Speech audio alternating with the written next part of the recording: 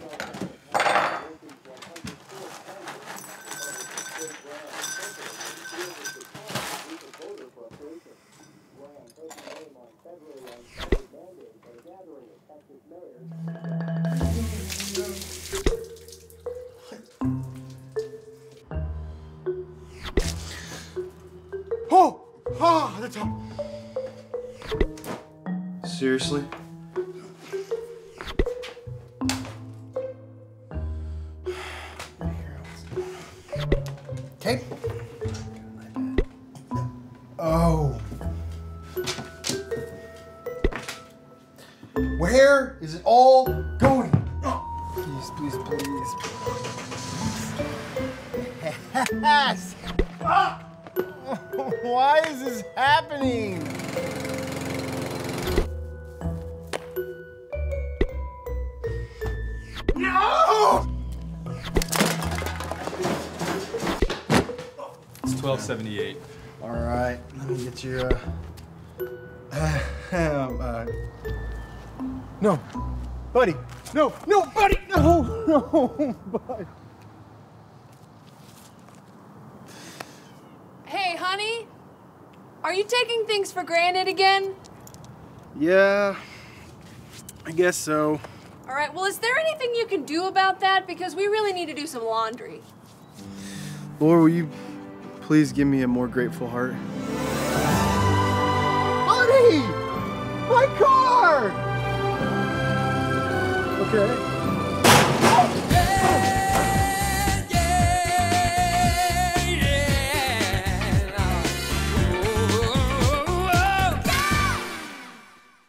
Gosh, man, gosh. I'm grateful. I'm grateful that it doesn't work that way, right? Because, dude, we'd be missing stuff. We'd be, we'd be missing stuff. And I'm, you know, I watched this clip and I, I love it for a lot of reasons. I don't know if it's just the, the time of year right now, but as things are getting cooler and it's just the colors are changing, I'm thinking about Thanksgiving. And I think we need to make sure that we don't just make Thanksgiving a one day event a year. I think it needs to be 365 days. In fact, Scripture tells us to be thankful and be grateful in all things, even the, the rough stuff, even the bad stuff. We can thank God. Why? Because God's going to use it to make us better because He is faithful. Amen?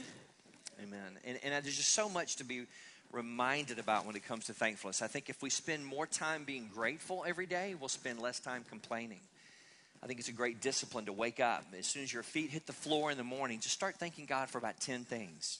Okay? Because what that will do is that will start your day on a trajectory of what God's given you, okay? And you can thank God for his faithfulness. Even just starting out. I mean, it's just it's just the way to be. James chapter 1 verse 17 it tells us that every good and perfect gift comes from above. Amen. Everything. So, how many of you guys have received something good in your life? Yeah, okay? There's one originator, there is one source, and that is God Almighty. And so you can thank Him. We need to thank Him every day. You know, these videos are good for me. They help they help remind me of so many things. And you know, they say a picture is worth a thousand words. And so for me, I think a video is worth a million. So it's good stuff. God wants His message to be heard by each one of us. That's why He gives us His Scripture. That's why He gave us His Son. God gave us word pictures even uh, before we had video and all that stuff back in the day in the Old and the New Testaments. God would paint His truth, His amazing spiritual truth, and bring it down to our practical level using word pictures that people could understand. Um, one thing I've been meditating on recently is the, the power of the tongue, James chapter 3. And God, James, the writer there, half brother of Jesus, he gives us a, a word picture of the power of the tongue. He said, You know, it's just like a, a huge ship on the ocean has this small rudder that no one can see that helps steer that massive ship. In the same way, you and I have a rudder between our molars that steers our life because our words are very important. And he goes on to say in Scripture that even a, a huge forest fire is started by such a small spark, just like the power of the tongue. Or even consider the horse, a massive animal, you know, weighing so many hundreds of pounds, but it can be guided by the small metal bit in its mouth, just like the tongue in the mouth of a human. There's so many things that we need to realize because there is a correlation every day between our words and what comes out of our mouth and what is inside of our heart. Now, that's important for you and I as Christ followers because God resides, God lives in our heart by the power of the Holy Spirit. And so, if God is inside of us, then people around us are going to see God in our actions, but also in our words. Would you agree with that? That's the truth. Now, the opposite of that is also true, meaning if you've got some heart sickness, some resentment, some bitterness, some things that are there in your heart that God wants to get out, they can only stay in there so long before they're going to fizz out through your mouth. And we need to realize there's a correlation between what is inside of a man or what's inside of a woman will be seen by the world around them. In fact, Jesus told this story in Matthew 15, verse 10. It says, Jesus called the crowd to him and said, Listen and understand. What goes into someone's mouth does not defile them, but what comes out of their mouth, this is what defiles them or makes them unclean. Peter said, Explain the parable to us. Are you still so dull? Jesus asked them. Don't you see that whatever enters the mouth goes into the stomach and then out of the body? But the things that come out of a person's mouth come from the heart, and these defile them. For out of the heart come evil thoughts, murder, adultery, sexual immorality, theft, false testimony, slander. These are what defile a person, but eating with unwashed hands does not defile them. So you can, you can think about your heart and your words and your actions this way. There's another way that we can describe it. Think about if someone comes and visits your house, they don't know what you have in your pantry, they don't know what you have in your food cupboard, um, where you, wherever you store your food. But when you get it out of the closet and you put it on the table there, everyone can see what comes from deeper within. So it is with your heart. Your heart tells the world around you what is inside of you. It's either really good or really bad depending upon what is inside of you, because your words are a barometer. Think about that. And the scripture tells us that at the end, the dead will be judged according to what they've done that's written in the books. Now, this is the Word of God. This talks about this in the Revelation chapter 21, I believe it is.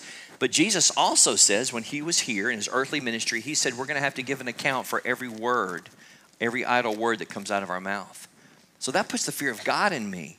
What, what's the message I'm giving to those around me? Is it one of uplifting and encouraging, or is it one of tearing other people down?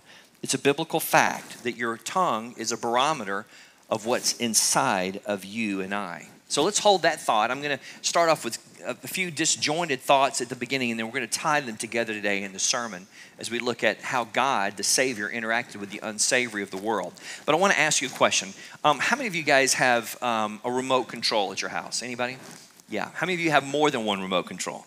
How many of you guys have like a little basket of remotes? Yes, we do too. Some for gaming consoles, some for DVD, and, and all this other um, electronic devices that we have. Well, among your remotes, wouldn't it be awesome to have a life remote where you could press pause when you said something you didn't want to say, and then you could rewind it and do it over? How many of you guys would like with those? Well, I'm selling those today after church for a church fundraiser. No, I'm just kidding. Um, I, I, wish I had one to give you because I know I'd be tearing it up, man. I, I, all the things I've said in my life that I wish I could could hit rewind and to change, and and and that would be quite the valuable tool. So why are we talking about all this this morning? You know, we started off with this video talking about being grateful to God, and we talked about your tongue and the power of the tongue, and then out of the abundance of your heart, the mouth speaks. And then we talked about being able to change things or, or having regret for things that you've said.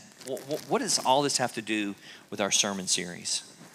Well, it actually has a lot to do with what I believe that God has, has put on our heart.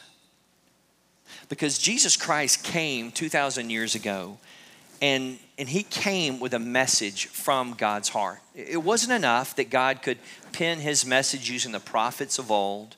It wasn't enough that God even used angels and celestial beings from God to get his message across. God, God sent his son, Jesus, the Word, capital W, the Word made flesh, who made his home among us. This message was so important that God, he pulled out all the stops to make sure that humanity got the message that God was proclaiming. And, and what is that message? That message is that God is love and that He created you and I to have a relationship with Him. But this thing called sin in our life that we've all been guilty of needs to go. Something has to happen. And that thing that has to happen is Jesus Christ. His blood is the best soap ever. And, and I'm really breaking this down into bite sized pieces here. But Jesus Christ is the Redeemer. He redeems your life, He cleanses your life if you will give your life to Him. And, and Jesus came and he, he communicated God's heart of love that not only was God love, but that's what God wants for each one of us. Because the two greatest commandments is love God with all that you are and love those around you the same way. And it's not your definition of love. It's not the Beatles who say love, love, love, or, or the latest song by Beyonce or whoever. It's God's definition of love that's different than man or woman's definition here on earth because God's definition of love is above all the other loves. Amen? Are y'all, are y'all trucking with me this morning? Jesus Christ came to show us that love. In fact, we've been talking about in our latest sermon series how God, Jesus, God with skin on, came and he rubbed shoulders with the world around him, the unsavory characters, even his best friend Peter, that, that when Jesus needed him most, Peter betrayed him, said he didn't even know Jesus three times. And, and that hurt Jesus, but that didn't change God's love for Peter. What about Pontius Pilate, who literally sent Jesus to his execution? We talked about how God, Jesus, loved on Pontius Pilate. I mean, the list goes on. We could share for days about all the people that Jesus rubbed shoulders with when he was here. The Savior, perfect Savior, and how he rubbed shoulders with the unsavory. And what did he do? He truly loved them. And the reason why that's so important is because that's our mission. In fact, Jesus said, The world will know that you're my followers by one thing not your amount of money in your checking account, not your degree on your wall, not what the stock market tells you is in your, your, your retirement accounts. None of that. The world will know that you are God's followers by your love. That's important it defines you and I, and it makes us everything that we are. And, and, and when I'm looking at how Jesus truly interacted with the world around him, I, I see the way that Jesus loved. Sorry. I see the way that Jesus loved okay and, and that's a goal of mine in my marriage and my relationships with people i know and relationships with people that i don't know but if i'm really going to look at this I've noticed when I think about the Savior and the unsavory, there was something else Jesus did. And, and this sermon is, is kind of more serious today. And, and that thing that Jesus did that was love in action, that, that actually rubs me raw, that I don't understand, that comes across to me as really awkward, is that oftentimes Jesus would do and say things that I would never do. Jesus would say things that in our culture today would be politically incorrect, socially awkward, and culturally taboo. Yet Jesus never stopped. And, and I'm, I'm just trying to say, why is that? Why is it that Jesus would do things that I wish I had a remote for and I would press pause and say, Lord, we can't say that? I certainly wouldn't have said that. In fact, Peter being Jesus' best friend during his earthly ministry, you caught Peter oftentimes, or I say oftentimes, sometimes, pulling Jesus aside and saying, pretty much, Lord, I wouldn't have said that. In fact, Peter rebuked Jesus for what Jesus said at least once. And so, why did Jesus act this way? Why was Jesus going against the cultural norm to the point of coming across, if I can be honest with you, as he came across like he was hard, like he was calloused. Some would even probably say that Jesus didn't care. But what I'm realizing is he did care, and that's why he did what he did. The, the reason why Jesus said things that I wouldn't have said and you wouldn't have said was because Jesus was not here for what people wanted, Jesus was here for what people needed. And this is hitting me square on in my heart right now. Because, can I be real with you guys? I find myself wanting to put on a Christianity that is easy for people around me and for myself. Anybody else do that? I find myself wanting to appease. I'm a people pleaser sometimes, and I, and I want people to like me. And so if I'm going to be like gut level honest with y'all, then I'm going to I'm going to have to say that full disclaimer, I'm guilty. I want to say things that are easy for people around me. But Michael Miller has given his life to Jesus Christ, which means I can't do some of the things that I want to do anymore. Now, I'm not saying I'm, I'm going to be a jerk and, and that's the way it is, but, but what I am saying is that I've got to start asking myself some hard questions about who am I truly following in my life? Am I following Jesus Christ or am I following Michael Miller?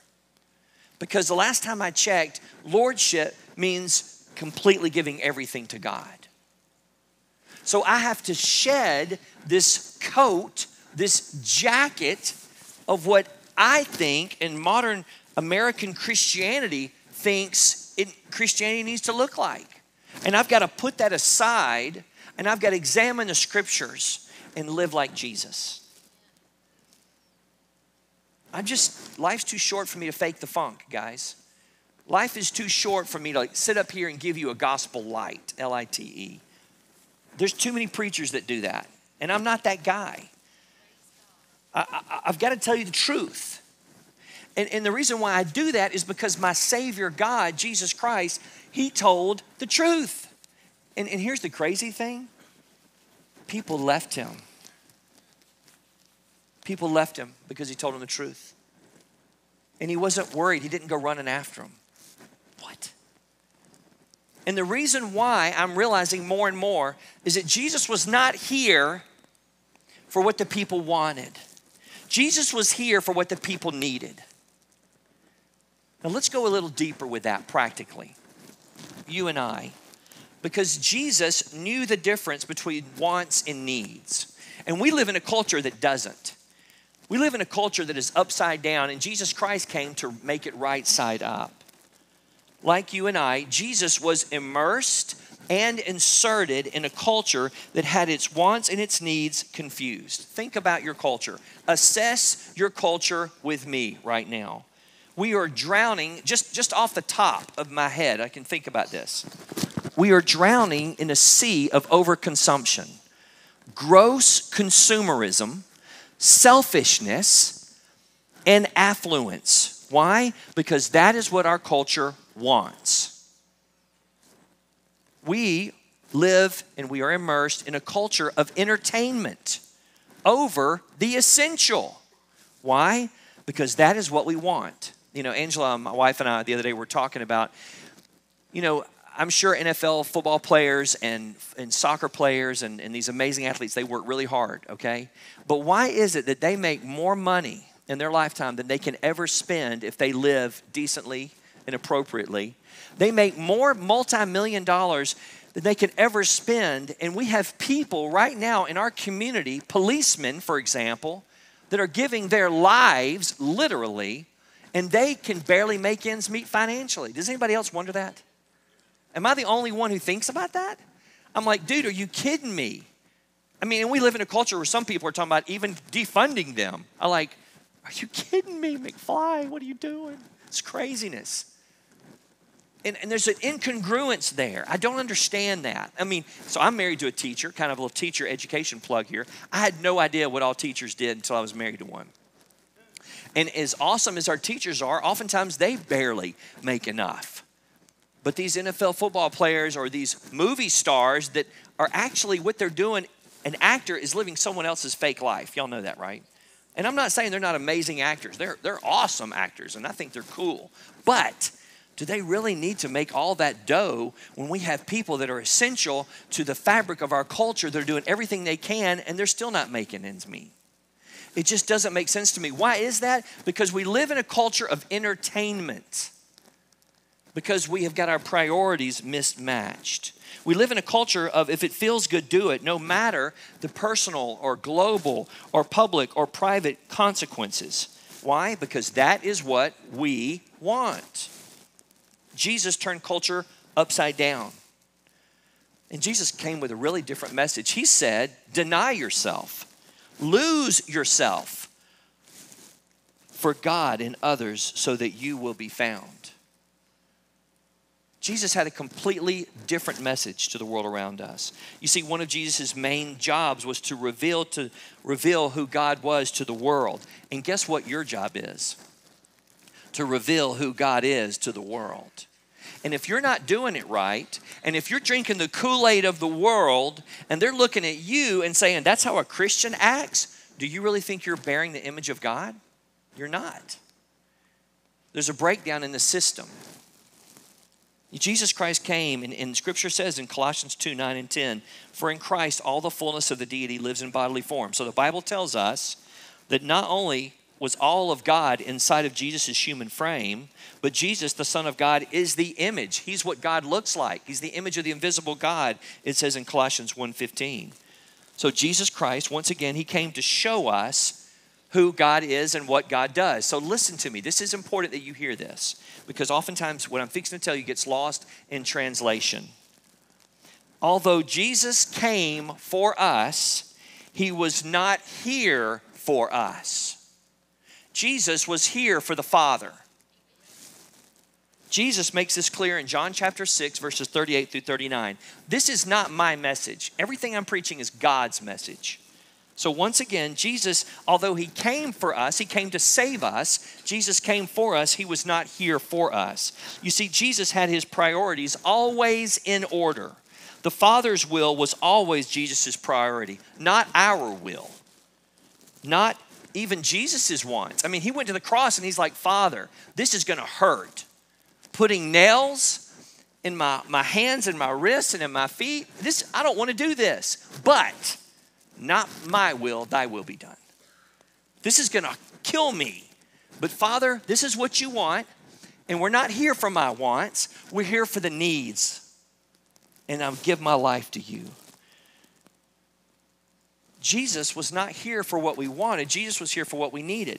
And Jesus understood the difference between wants and needs. And Jesus knew that a wrong priority here and a little wrong priority there, these wrong priorities add up to create a backwards global culture that we are now living in.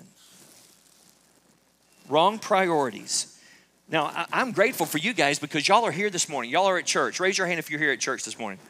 You should all be doing that. You're all here, by the way. Okay, good, good. All right. But but there's there's these little things that Satan tries to to to, to kill you. Satan's trying to kill you, guys. Jesus said that. He said the thief, Satan, comes to steal, kill, and destroy. Satan wants to kill you, and, and he realizes the little things can kill you just as much as the big things. By the way, if you Google the most dangerous animal on the planet, it's not the tiger you're scared of or the shark, it's a mosquito. Something so small, something so small that you barely even think about it. But it kills far more millions of people every year than the things you're scared about in your nightmares. That's just one small example of how Satan will use a small single cell of sin that will metastasize and devour the host. We need each other. Amen? God knows that, so He gave you a herd of heroes called the church because he knows that you can't do it alone. I can't do it alone. Church is not just something that you go to, you be the church. You don't go to church, you are the church. You are the force that God has empowered with his very spirit to change the world. And God is counting on you and I. But to do that, we have to have our priorities in line with his. We all are called to God sized things. Jesus Christ was here and he came to do what we needed namely the salvation of our souls and the reconciliation of humans back to God through redemption. And in this divine process, because Jesus did not live for us, because Jesus lives for the Father, he did things differently. Things that did not make sense to the culture around him. Because he was not here, listen to me, Jesus was not here to do things sensibly, he was here to do things obediently. Do you live for common sense? Is that your God? Or do you live to be obedient to the Father? Because there were times when there was a divergence, when sensibility went this way and Jesus went that way, because obedience required it. Francis Chan says it this way Something is wrong when our lives make sense to unbelievers. Something is wrong with the church when our lives make sense to unbelievers. If you're fitting in and that's your goal and that's your God, you're on the wrong train, brother. Jesus lived this. This is not some pie in the sky thing that Jesus did not live. He lived this.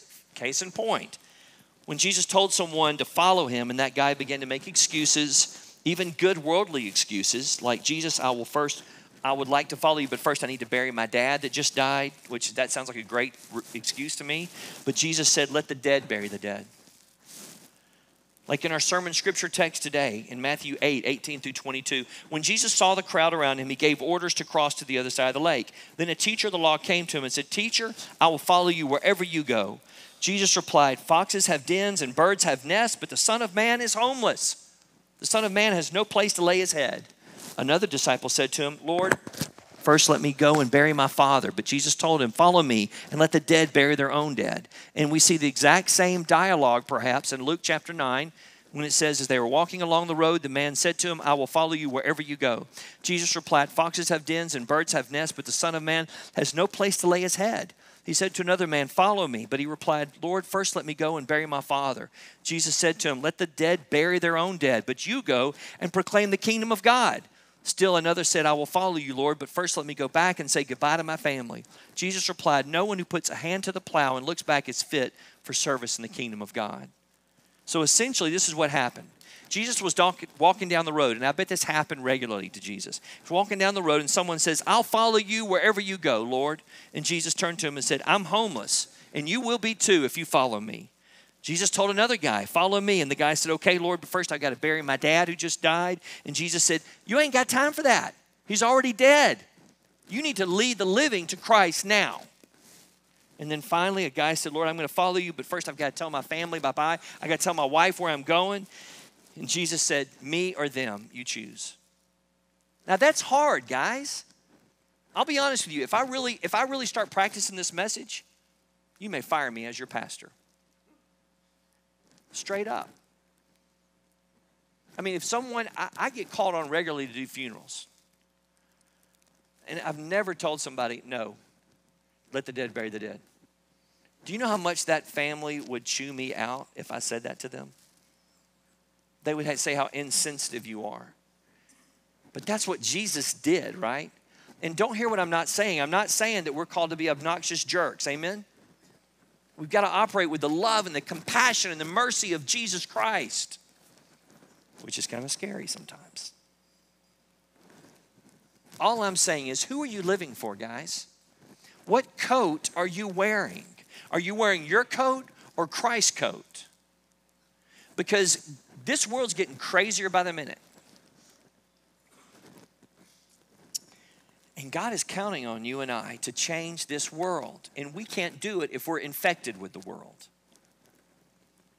If we smell like the world's cologne because we've been sleeping with the world, what is that going to say about the witness and character of Christ who died to the world?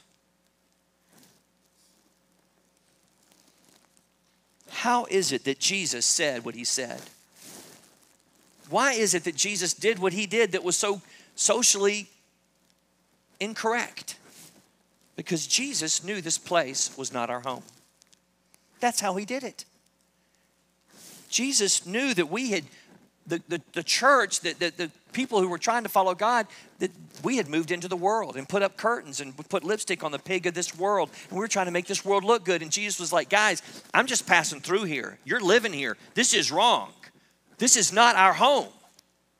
You were destined for something called heaven. And this ain't heaven, it's broken. It's about thy kingdom come. Jesus Christ came to remind us what life is about. It's about our Father. It's not my kingdom come. It's not my will be done. It's not my, I'm going to live here the best I can and be self preserved and, and hibernate in my own little cocoon. No, it's giving your life to the world around you. It's doing things that are unsensible, unsensibly loving radically merciful, uncharacteristically dying to self. Jesus Christ came with the truth of what we needed, not what we wanted, and we killed him for it. So, for you to be the Savior for the unsavory on your street, you've got to stop living for yourself, church. Because when you start living for the Father, you will love people on your street, not just the way they want, but sometimes, more importantly, the way they need. Which I'll be honest with you, tough love hurts sometimes. Tough love hurts sometimes, but it can save a soul. And here's the deal you don't live for the world anymore anyway. If you do, the scripture says you're not a Christian. Love not the world. It's really clear. Jesus says you, can, you can't have two masters. It's your time to choose. And here's the deal God's given us this church. My coat's leaving. God's given us this, this church as a safe place where we can work this out together. Amen? Where we can say, hey, man, I need some help with this because I really love the flesh. I need some help with this, brother. Can you pray for me? That's why I was 6 a.m. at a brother's house this week with three other guys, four other guys, and we were spilling our guts with each other being real with our Christian walk about what God is saying to us about how we can be better husbands to our wives. Can I get an amen? How we can truly let go of the lust of this world in a confidential environment where we love each other and we're, man, I got your back, bro. I'm praying for you, man. I need that. You need that. We need life together called the church because we don't live for the world anymore. This is the message the Savior preached. And this is the message that our Savior lived. If, if I'm wrong, if you think I'm wrong, you show me in Scripture where I'm wrong. I am called to not just preach and proclaim, but to live the truth of Jesus Christ, just like you. Amen. So, what are we waiting on? Let us pray. Lord God, thank you that this is your heart, God. This is the way you live, Jesus Christ. This is the, your witness to the world. Lord, help us as your church to not live divided, to not live for the world on Monday, Tuesday, and Wednesday, and for, the, for you on Thursday, Friday, and Saturday, and, and, and live for somebody else on Sunday. God, help us to be truly authentic in our life, to realize that we're here not for what the world wants, but for what the world needs.